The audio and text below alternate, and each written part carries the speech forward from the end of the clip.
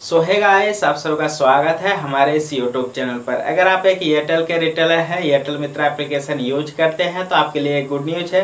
Airtel Mitra की new version 3.74 आ चुकी है। इसमें क्या अपडेट किया गया है, और इसे अपडेट क्यों किया है, सारी जानकारी आपको डिटेल में देंगे। तो चलिए वीडियो को शुरू करते हैं। तो सबसे पहले इस एप्लीकेशन को अपडेट करने के लिए आपको प्ले स्टोर में मिल जाएगा एयरटेल मित्रा की जो न्यू वर्जन है 3.74 तो वहाँ से आप अपने एयरटेल मित्र एप्लीकेशन को अपने मोबाइल पर डाउनलोड करके इंस्टॉल कर सकते हैं। अगर मान लीजिए वहाँ पर आपका शो नहीं हो रहा है एयरटेल मित्रा की न्यू वर्जन तो हमारे टेलीग्राम चैनल का लिंक नीचे डिस्क्रिप्शन पर दिया हुआ है। वहाँ से आप हमारे टेलीग्राम चैनल से एयरटेल मित्रा की जो न्यू वर्जन है 3.74 उसे अपने मोबाइल पर इंस्टॉल कर सकते हैं। तो यहाँ पर एयरटेल कंपनी ने एयरटेल मित्रा एप्लीकेशन को बार बार अपडेट क्यों करती है?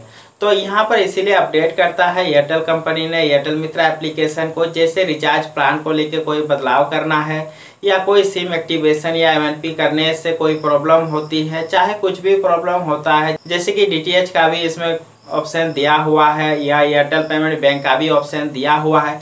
इन सभी में कोई भी चीज़ अगर बदलाव करना होता है तो इन सभी का बदलाव करने के लिए एयरटेल मित्र एप्लीकेशन को अपडेट करना ही होगा, तभी इन सभी में कोई भी बदलाव कर सकता है। तो इसीलिए एयरटेल कंपनी ने एयरटेल मित्र एप्लीकेशन को अपडेट करते रहता है। तो ये जानकारी कैसी लगी, नीचे कमेंट करके ज़रूर बताए। हमारे चैनल को अभी तक सब्सक्राइब नहीं किया है तो चैनल को सब्सक्राइब करके बेलाइकन कॉल में कर दिए इस तरह के वीडियो सबसे पहले देखने के लिए।